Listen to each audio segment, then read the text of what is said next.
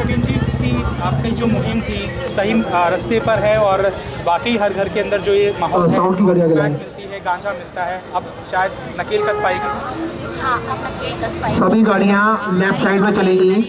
Traffic को disturb नहीं करना है। सभी गाड़ियाँ लेफ़्ट साइड में चलेगी। आगे सिर्फ़ दो बाइकें चलेगी। बाइक की को पीछे जो आपको सीक्वेंस दिया हुआ है उस सीक्वेंस के टैबलेट्स हैं इंजेक्शन है हमारे यहाँ पे बहुत ही ज़्यादा संख्या में आते हैं। और से छोटे छोटे बच्चे, यानी कि चार पाँच साल से लेकर के इवन चार पाँच साल से बच्चे से बिकवाया जाता है।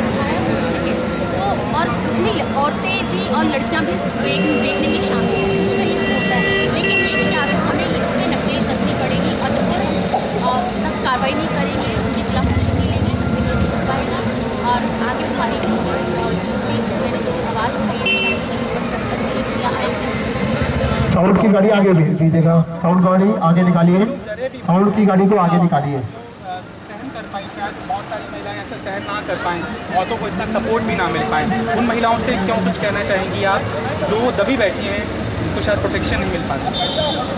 जो दबी बैठी हैं उनके अंदर भी कहीं ना कहीं कुछ है। अगर वो ज़रूरी नहीं है कि वो इस तरीके से वो अपना अगर उनको लगता है कि हमारी महिला पंचायत है हर हर क्षेत्र के अंदर दिल्ली के हर एक कोने कोने में हमारी महिला पंचायत है इवन हमारा एक सौ इक्यासी भी चल रहा है महिला आयोग का टीम का भी चल रहा है। तो वहाँ पे अपनी सूचना दे सकती है नाम लिखवा सकती है कि इस तरीके से हमारे यहाँ पर हो रहा है। वो अगर इतना भी करती साउंड है की गाड़ी आगे हमारे यहाँ पे निकालिए है, साउंड की गाड़ी को आगे ले आइए आगे ले आइए साउंड की गाड़ी। किस तरह से आगे सपोर्ट होगा और वहीं को आगे हम हम साउंड की गाड़ी आगे लाइए आगे लाइए और आगे आगे लेंगे उन्होंने क्या सोचा था कि वो डर जाएँगे हम लोग? हम बिल्कुल नहीं डर रहे आज यहाँ पे हज़ारों की तादाद में लोग हैं और खूब सारी गाड़ियाँ हैं, पाँच सौ सत्तर गाड़ियाँ हैं। सारी की सारी आज प्रवीण के सपोर्ट में है प्रवीण अकेली नहीं है जब से प्रवीण के ऊपर हमला हुआ है, पूरी दिल्ली में और बहुत सारी प्रवीण खड़ी हो गई है। हमारे पास सूचनाएँ आ रही है। Nine three one three one eight one one eight one, हमने नंबर भी रिलीज़ करा है। आप हमें बताइए कहाँ कहाँ शराब बिकती है? इस तरीके से अवैध तरीके से ड्रग्स होते हैं।